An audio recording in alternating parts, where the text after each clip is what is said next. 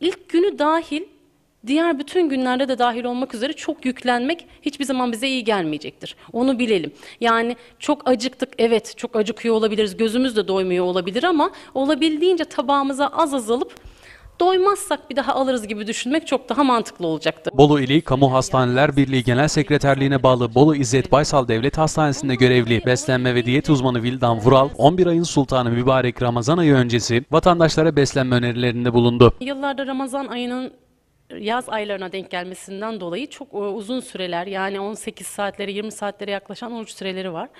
Bundan dolayı olabildiğince e, sahur vaktinde kalkmaları, imsak vaktine en yakın vakitte kalkıp e, insanlarımızın işte mutlaka sahurlarını yapmalarını istiyoruz. Orucun hurma, zeytin ve su ile açılması gerektiğini söyleyen Vural, çorba ve salata yendikten sonra yemeğe 20 dakika ya da 30 dakika ara verilmesi gerektiğini söyledi. Mutlaka diyoruz ki iftarı ikiye bölerek tüketin.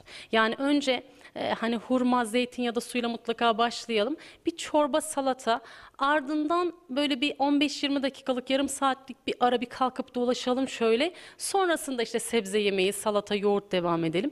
E, olabildiğince e, ağır tatlı tüketmemeye çalışalım. Mutlaka tatlı, tatlı ihtiyacımız da olacak ama e, olabildiğince sütlü tatlılardan bunu gidermeye çalışalım. İftarla sahur arasında ara öğün tüketimini tavsiye eden Vural, ara öğünün süt, yoğurt ve meyveden oluşması gerektiğini belirtti. Bir iki saat sonra bir ara öğün mutlaka öneriyoruz. Süt veya yoğurtla yanında meyveyle bir ara öğün. Sahurla iftar arasında tam böyle bir ara öğün olsun. Vural, sahurda da kahvaltılık gıdalar tercih edilmesini önerdi. Sahurda biz e, yapmamız gereken aslında genel olarak şu.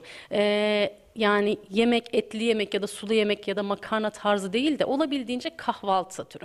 Zeytin, peynir, işte domates, salatalık, karpuz olabilir. Mevsimin tam böyle e, ana maddeleri bunlar. E, yanında çay ya da ekstra sıvılar olabilir ne seviyorsak bunları koyalım mutlaka. Sahurdan iftar süresine kadar vücutta 700-800 gram civarında su kaybı yaşanacağına dikkat çeken Vural şunları söyledi. Olabildiğince hani su içeriği yüksek salatadır, işte ayran, cacık, komposto, çorba gibi böyle sıvı içerikli beslenmek. E, iftardan işte o ara öğüne kadar yine bir iki bardak su içmek. E, sonra e, sahur vaktine kadar yine birkaç bardak tüketmek. Sahur vaktinde de yine mutlaka çorba ve meyve ile kahvaltıyı desteklemek su ihtiyacımızı gidermemizi bayağı bir önleyecektir.